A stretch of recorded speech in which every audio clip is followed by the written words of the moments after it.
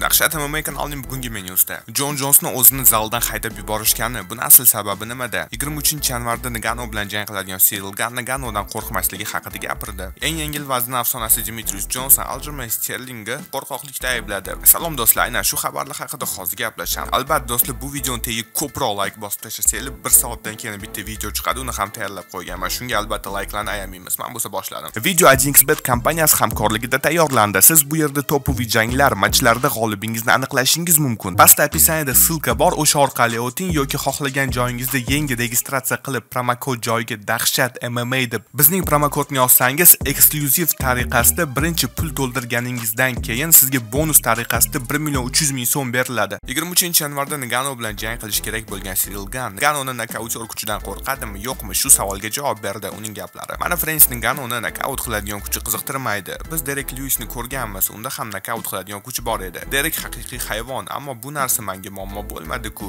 Agar siz bizni jangimizga qarasangiz, men u bilan yaqin va o'rta masofada jang qilganimni ko'rasiz. Va menda hech qanday muammolar bo'lmadi. Men ham og'ir vaznman va men ham ura olaman. Ammo men yaxshi harakat qilaman, shunga bu narsa meni xavotirga solmaydi. Men haqiqatdan ham o'zimga ishonaman. Bilmadim Muay tayga kelganimda hammadan tajribali jangchilar va raqiblar bo'lgan. Ammo men o'zimni jangchilik aqlim jihatidan ulardan oldinda edim. frensi juda ham zo'r sportsmen, ammo u mendan og'ir. Shunga men tezlikda va kardioda ustunlik bo'laman deb aytib o'tdi Cyril Gan Albatta do'stlar, bu jangga o'zingizlarning fikringizni bildiringlar. Cyril Gan va Ngannou jangida sizning fikringizcha kim g'olib bo'ladi? bukmekerlar bo'lsa bu jangga teng imkoniyatni berishmoqda, ya'ni Ngannouda ham, Ganda ham teng imkoniyatlar 50-50. Bunga do'stlar o'zingizlarning fikringizni bildiringlar. Shaxsan men Ngannou yutadi deb o'ylayotgandim, ammo Cyril Gan hali mag'lub bo'lmagan, shu sababdan nima bo'lishini ko'ramiz. Eng yengil vazn afsonasi Dimitrius Jonson Aljumay Sterling Pyotr Yamla jangi haqida gapirdi. Uning gaplari: "Aljumay menga yoqadi, u zo'r atlet va zo'r jangchi. Ammo men uni Pyotr Yanga qarshi jangini ko'rganimda, meni xayolimga kelgan narsa bir narsa edi. Ya'ni bunday harakatda bo'lib qolganingda tizzada. San nega bu narsadan chiqib ketmading? Nima sababdan san tizzada turgansan? O'zini shunday tarzda xavfsizlikda his qilayotganini aytgandi. Agar men trenovka qildirganimda, man unga biz kletkaga xavfsiz yo'l qidirgan chiqmagandik der edim. Oyoqqa tur yoki gardga kir, san zo'r greplersanku der edim, deb aytib o'tdi Dmitriy Jonson.